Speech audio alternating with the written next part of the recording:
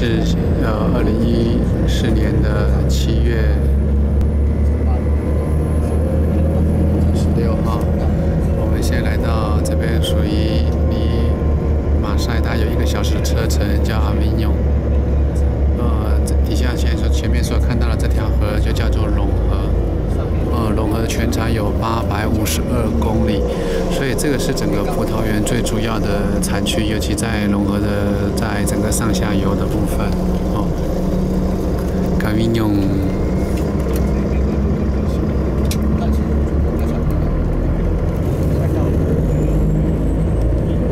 呃，外面的天气依旧是呃阳光普照的部分。我们现在去整个 DDA 的五宝庄园。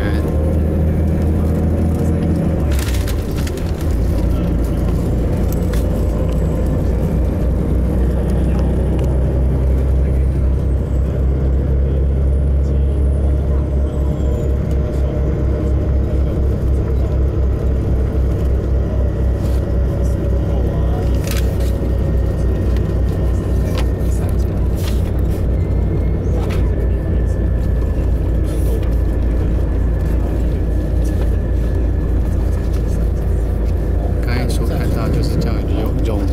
呃的部分啊。现在开始给你介绍阿维永。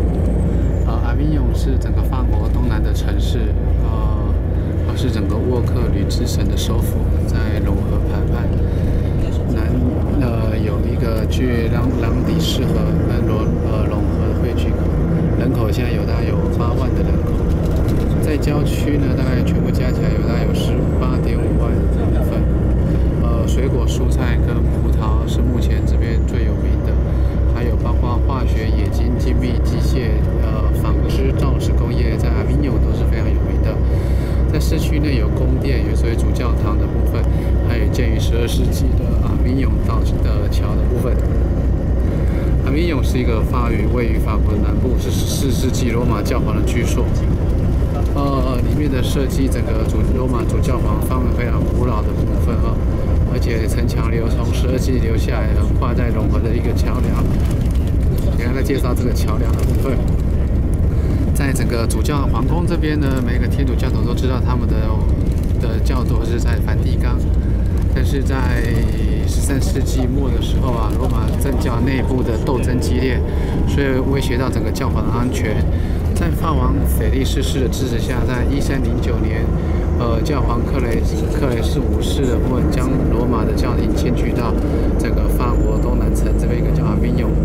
呃，由于教皇的迁徙呢，呃，教徒就把阿维永当做整个朝拜的圣地。在一九九五年，阿维永的城教区列入世界文化遗产，哦，世界文化遗产。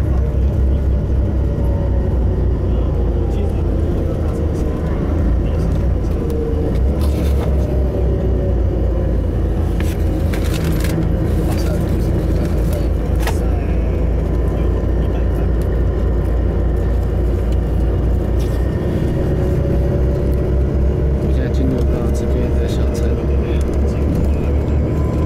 在阿米纽这边有一个收获叫神威拉城说，因为亚米农在每年的七月这边举办一个每年的音乐季，呃，圣维拉就说过，如果是呃法国国法国巴黎是呃国力是来自于整个心脏，那在这整个亚亚农呃亚维农艺术节是来自于诗人的灵感。呃，尚维拉